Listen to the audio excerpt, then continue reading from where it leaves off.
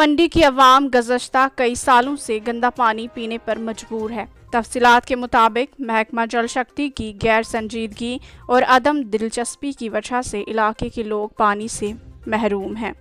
और वो नाले का गंदा पानी इस्तेमाल करने पर मजबूर हैं। तफसीलात के मुताबिक लोगों को पानी मुहैया करने के लिए हर साल महकमा जल शक्ति और इंतज़ामिया की जानब से करोड़ों रुपए खर्च किए जाते हैं, लेकिन ज़मीनी सतह पर लोग पानी से महरूम हैं।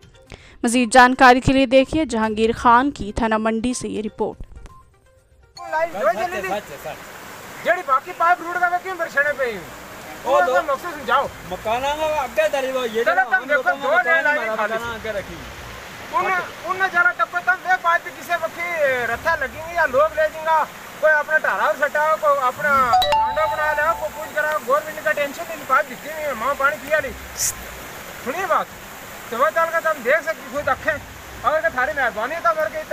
इतने पुनः पाइप चेक करता जाओ थन्ना में बुन खिला दरा तक जाओ ऊपरी लाइन चेक करो कितनी कितनी लाइन में पानी चला लो किन्नी में नहीं चलते पीछे से कितनी लाइन नहीं रूट का थल्ला कितनी कोठा जमा पाइप होएँगी